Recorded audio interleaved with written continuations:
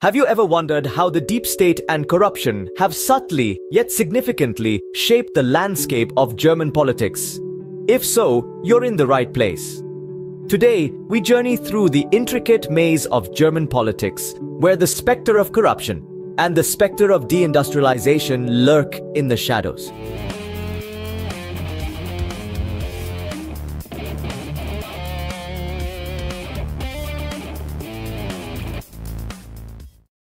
Our story begins in the post-war era, a time when Germany was rising from the ashes of World War II, and the deep state was carving its niche within the political framework.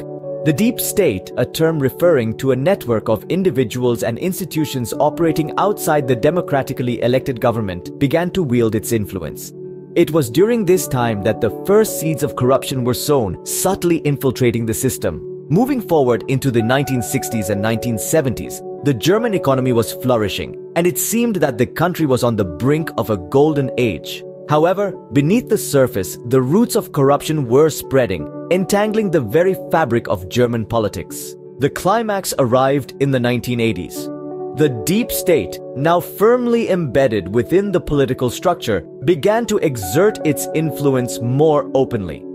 The result was a wave of corruption scandals that rocked the nation, exposing the rot within the system. Have you ever wondered if the CO2 narrative is a facade to deindustrialize Germany? In recent years, the CO2 narrative has taken center stage in global conversations. It's a tale of human-induced climate change driven by excessive carbon dioxide emissions. This narrative has been embraced by many, shaping policies and influencing decisions, but a growing number of skeptics are questioning its validity and implications. At the heart of this skepticism is Germany, a nation known for its industrial prowess. The country has been steadily transitioning toward renewable energy, driven by the CO2 narrative. But some argue this is less about saving the planet and more about deindustrializing Germany. Deindustrialization, the decline of manufacturing and industrial sectors, is often seen as a natural progression toward a service-based economy. But what if it's not just an economic evolution, what if it's a deliberate strategy masked by the CO2 narrative? Skeptics point to the potential economic and social consequences. The industrial sector has long been the backbone of Germany's economy, providing employment and contributing significantly to the country's GDP. Its decline could lead to job losses, economic instability, and social upheaval. Furthermore, deindustrialization could weaken Germany's position on the global stage. The country's industrial sector is a key player in global supply chains, and its products are renowned worldwide for their quality and innovation. Curtailing this sector could undermine Germany's influence and competitiveness. Yet, the CO2 narrative continues to drive the push towards renewable energy, with many viewing it as the only viable solution to mitigate climate change. Skeptics, however, caution against a blind leap into renewables, citing potential challenges and the high cost of such a transition. So, we're left with a conundrum. On one hand, there's the widely accepted CO2 narrative pushing us towards a cleaner, greener future. On the other, there's the risk of deindustrialization and its potential fallout. But what if there's more to this story? What if renewable energy, hailed as the solution, actually presents its own set of challenges? Renewable energy, a beacon of hope or a costly illusion? Let's dive into the financial implications of renewable energy, comparing the costs of wind and solar energy with traditional energy sources. When we think about renewable energy, we often picture a world powered by the sun and wind, with power plants and gas guzzlers a thing of the past.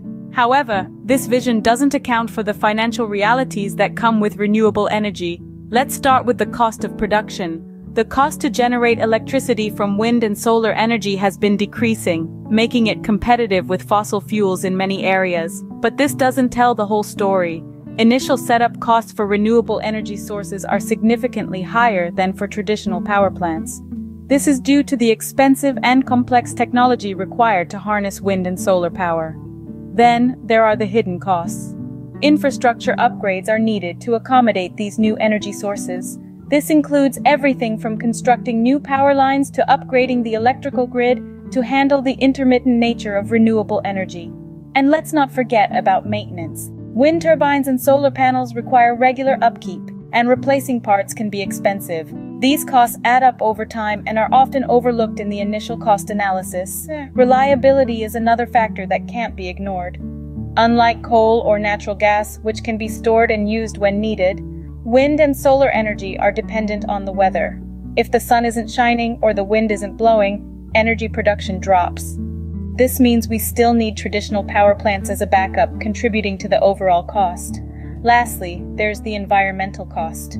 While renewable energy sources produce less carbon dioxide, they still have an environmental impact. The production of solar panels and wind turbines requires mining for rare earth metals, which can be destructive to ecosystems.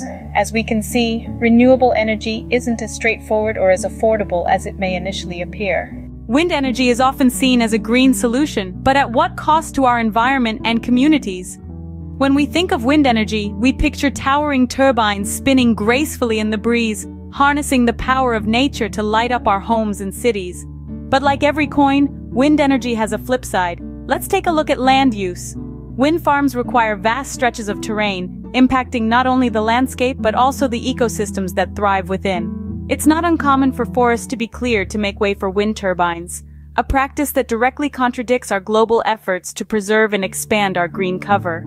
Then there's noise pollution, those spinning blades aren't as silent as you might think. The constant hum and whoosh can reach up to 60 decibels, comparable to the noise level in a busy office. This can be a real nuisance for local communities living in close proximity to wind farms. Speaking of local communities, they often bear the brunt of these projects. Homes shadowed by giant turbines, landscapes altered, and tranquil rural life disrupted.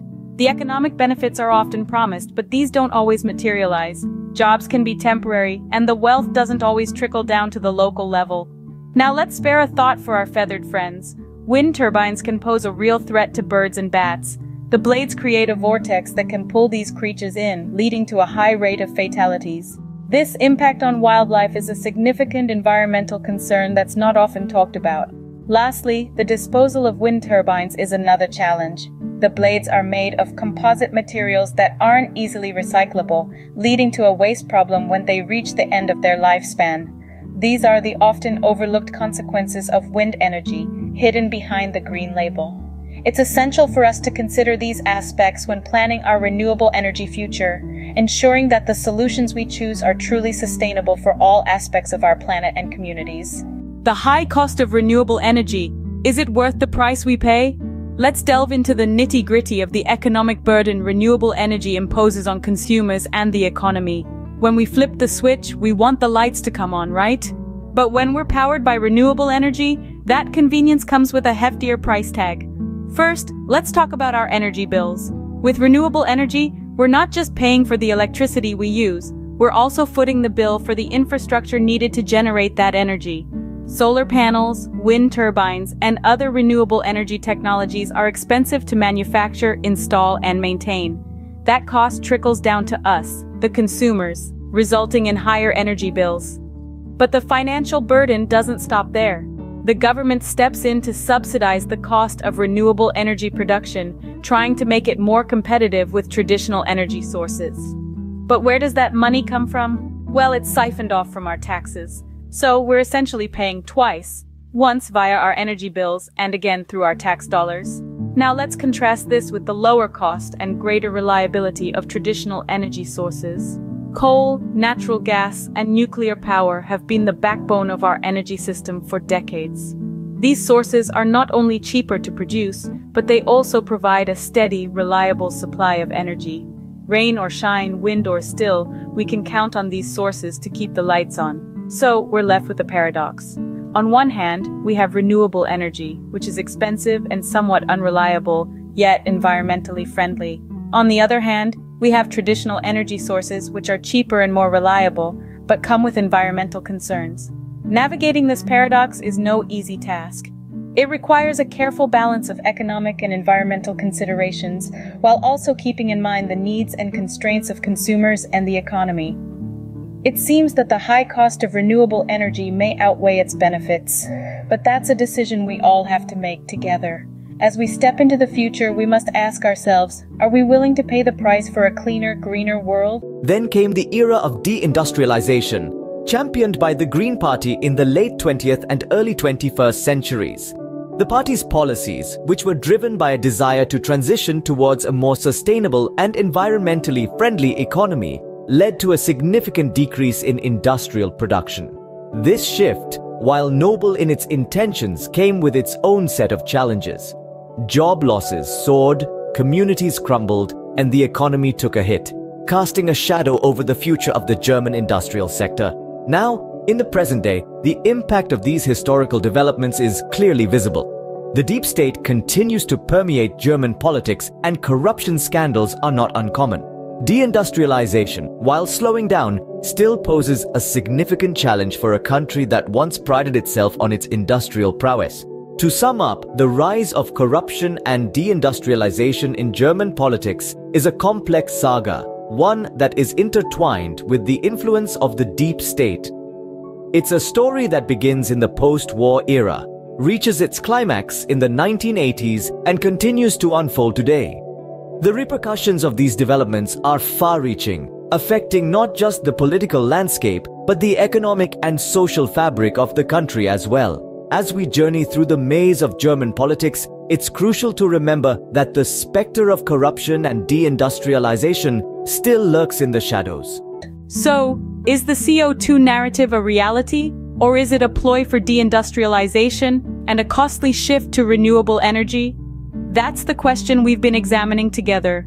We've delved into the heart of the CO2 narrative, a topic surrounded by significant skepticism. We've explored the notion that this narrative might be a strategic move towards deindustrialization rather than an urgent call to address climate change.